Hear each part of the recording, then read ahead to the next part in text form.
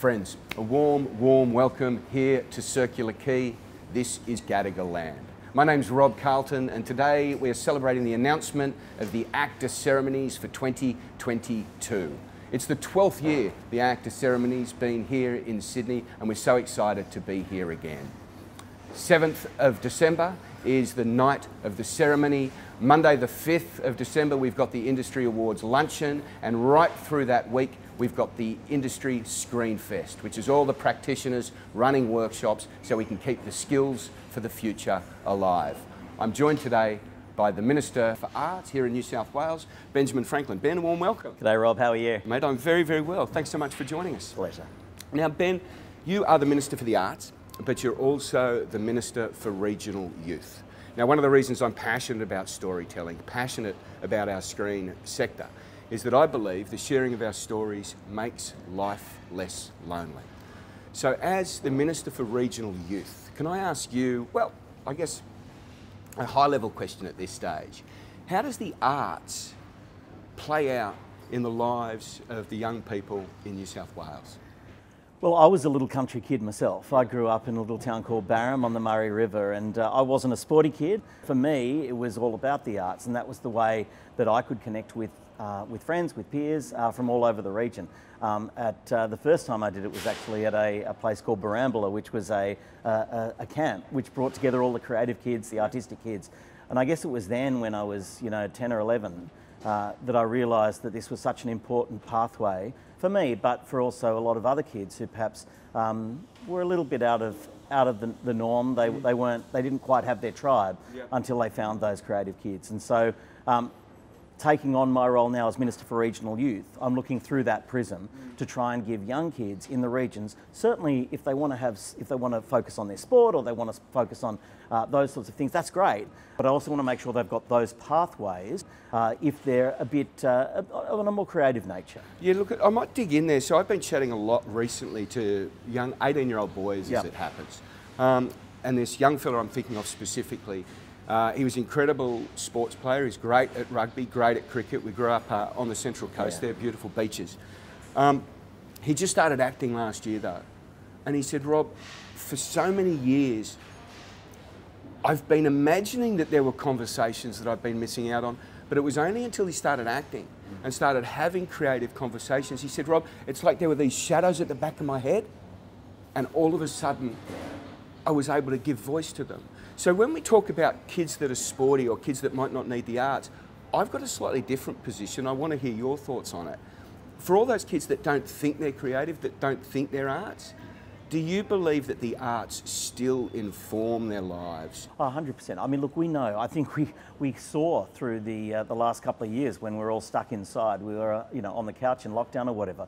What did people turn to? Uh, they turned to Australian film, they turned to Australian literature, they turned to Australian music. They were the things that got us through. So if art, art and culture is important in the lives of every single person, even for those who mightn't think it's particularly relevant to them. And for young people, it's more important than ever. And, um, you know, I look up on the Northern Rivers where I now live. Um, we've got an incredible organisation called Screenworks, which um, uh, obviously supports regional artists, regional filmmakers, but particularly their focus on providing a pathway and an avenue for young people uh, to come through.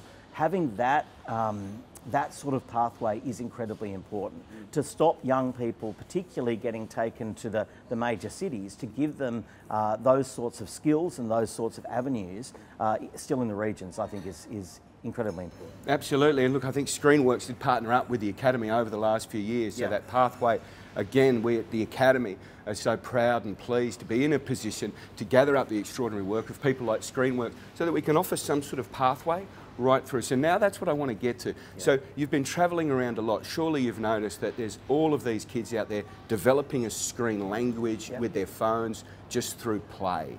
Is that something that you've seen? Lots more interaction with screens and with, with, with, with that sort of cameras, etc. Oh, no question. I mean, you know, my, my godson is uh, actually he's what 10 years old now, and he's he's making his own movies you know, and, and cutting them and putting music on and doing the special effects. I mean, it's incredible. You know, things that, that when you and I were kids, Rob, we would have had no idea how to do. And they have an intuitive understanding of technology now that uh, I think is extraordinary. Um, and that's why, for example, you, you asked me before about my regional youth portfolio. We have as one of our programs the Holiday Break program, where we uh, bring young people in to provide them with um, different activities. Certainly, there's sporting things and other bits and pieces, but we've also lent very hard into the arts now, and so we've got filmmaking workshops, we've got songwriting workshops, all of those sorts of things, and these are now the most popular um, uh, forums, the most popular activities of, of all across the state. And so that shows there's such an appetite for young people uh, to get involved in the creative industries. Absolutely terrific. Now, I want to draw a line in a minute between that and, of course, the celebration week that we've got coming up Absolutely. here in December. Um, but before I do, I wanted to just jump into that notion. So we've got all of these young kids, and at the moment they're slightly disparate. They're sort of spread out and about. And they've got all of these screen language skills. Tell me, over the course of the next 10, 15 years, do you see the opportunity, if you will, to gather these disparate skills, these young kids growing up, and have it and turn it into a screen boom, if you will? I absolutely think yeah. so. I mean, you just have to look at you know what we've had in the last 12 months. We've had 158 productions, local, international, TV, streaming, that have been shot in Australia. That's double the number of the year before. There's no question, the latest figures that I saw said there's going to be a 5% increase every year um, in productions, and I think that's just the beginning because I think we've got, as you rightly say, we've got this extraordinary generation of young people about to burst through who've already got the skills, who've got the initiative, who've got the understanding, and who've got the ambition uh, to be involved in this industry. Uh, I think it's going to be an incredible, an incredible time. All right, so terrific. So we've got all of this energy and it's sitting there waiting to explode. So tell me, why is an event like the AACTA's Ceremony uh, here in December 7th, why is an event like that important for all those young kids? What's the connection point? Well, it provides them with, um, I guess, the capacity to be seen. You know, I say, to be seen, you need to be seen. And so for them to be able to see uh, an industry lauding uh, not just the stars, of course, we all love the stars, but just as important, in fact, I would argue even more so, is what goes into making those films the costume, the set design, the editing, the, the, the sound. Uh, you know, all of these things are so important. And for them to be able to see the opportunities that they can have in a career, for them, for them to be able to see that in, in you know, one night of celebrating uh, our stories, our landscape, our creativity, and our art.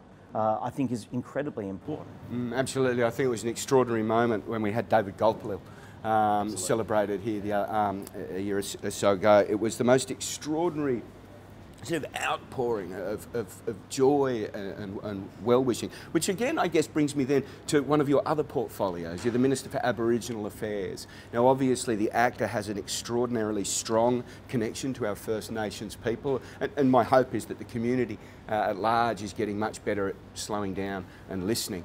Uh, listening with our hearts in that space. But again, how do you see the screen sector um, and your role in the arts combining with the Minister for Aboriginal Affairs. What's, what's the connection there? Well, I always say First Nations first. Yep. And that's what we need to do, not just in terms of, well, you look behind us, the Aboriginal flag now sits proudly atop the harbour bridge. Um, and I'm very proud that we were able to achieve that.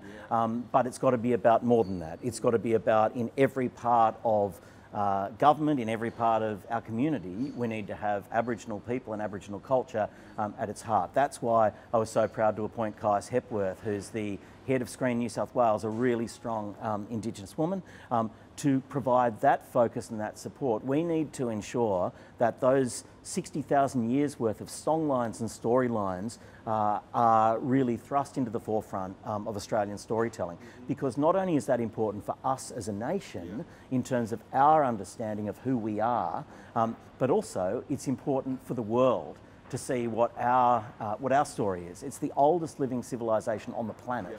Um, we should be so proud of it and we should be advocating, supporting it, promoting it everywhere we can. Absolutely outstanding. So then let's jump into that. So let's just now take what you said and talking about our stories on the, on the world stage. This is something that the AACTA Awards, we, we believe we're really proud of. We're able to beam um, well, we're sitting in front of the most beautiful harbour in the world. I'm slightly biased, but we're able to beam these pictures out to the world. So I guess from a tourism, gosh, we're covering all of your portfolios today, aren't we? so from a tourism perspective, that, that's, that's wonderful and amazing. But if we can get, I guess, into the longer play, which is that notion of sharing our stories with the world. Who are we as a people? What can we learn from our stories and help join this international conversation, if you will? So from that perspective, what does the screen sector and the academy have to offer the Australian people on the world stage? How, how do we get the most out of that?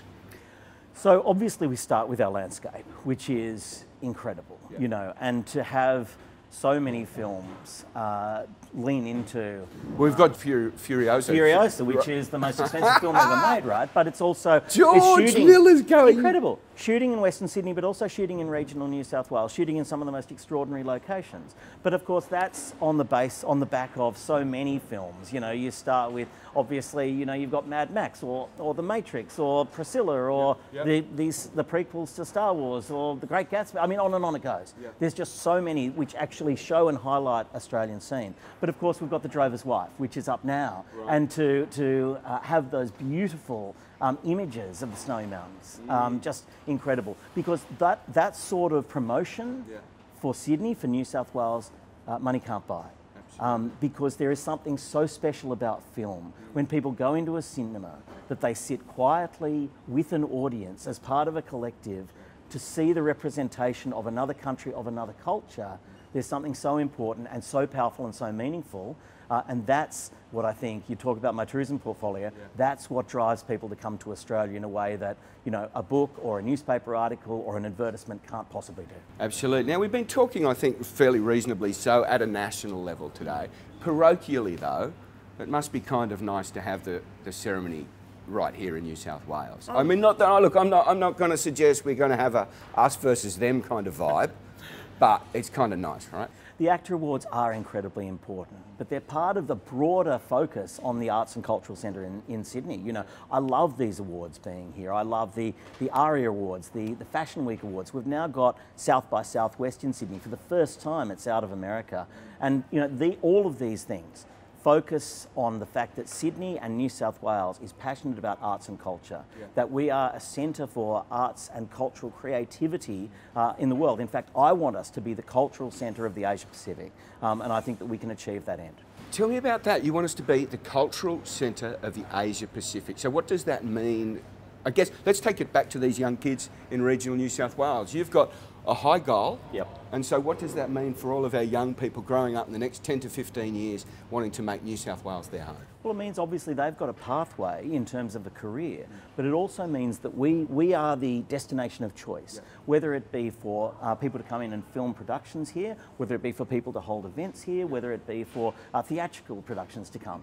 Um, we've got you know, we've got this incredible offering here now. We've just redone the, the concert hall in the Sydney Opera House, which people are now saying is one of the best acoustic opera houses in the world. We've got the Walsh Bay Arts Precinct down there. We've got an extraordinary um, explosion in, in our film industry. You know, the powerhouse in Parramatta, we've got, we've got all of this cultural activity um, exploding in, in, in our state. And, uh, and I want the rest of the world to see that. Well, and we at the Academy do too. And it's interesting. So you, when you're talking about this, is what I love about positions that you hold. You're able to, I guess, from a condor position, mm. see all of these various different things that are available to you and how do you connect them? I've got another question for you because you're always passionate about this. If you were going to make a movie yourself, and, and except I'm not letting you be the director. Right. That's out. That's off the table. You're my location scout. Okay. Right? You've been all around New South Wales.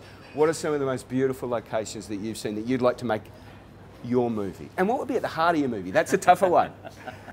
well, let's start with the easy part. Um, so in terms of location, look, I live on the Northern Rivers. Yeah. So there is no more, I think, beautiful part physically yeah. of Australia. Yeah. Uh, you know, it starts with Byron Bay, but go into that incredible hinterland. Um, it is it is quite special. But that having been said, I was out in Broken Hill last weekend for the Broken Hill Festival, um, and uh, to see that landscape out in um, what's it looking like at the moment? It's it's actually greener than than it's probably been for a long time. Um, but you know the every the, time George Miller goes out west, they, they break the drought. It's, it's exactly it's ex- exactly, um, and it's you know the the the just this rolling kilometre after kilometre um, of nothing is it's like you're on the moon. Um, so when you're when you're there, when you're at the Northern Rivers, when you look at the, you know, I was I was out in Orange um, uh, two nights ago, and, and to see that beautiful landscape with the, the the wineries, and I mean, we just have we have literally everything here in New South Wales, um, and I'm I'm I'm really sort of, it's, it's difficult to choose where you'd have it. But what would it be about? I mean, it would be about the Australian story because we have always had at the heart of our greatest artists a connection with landscape, whether that's Patrick White or, you know, Peter Sculthorpe.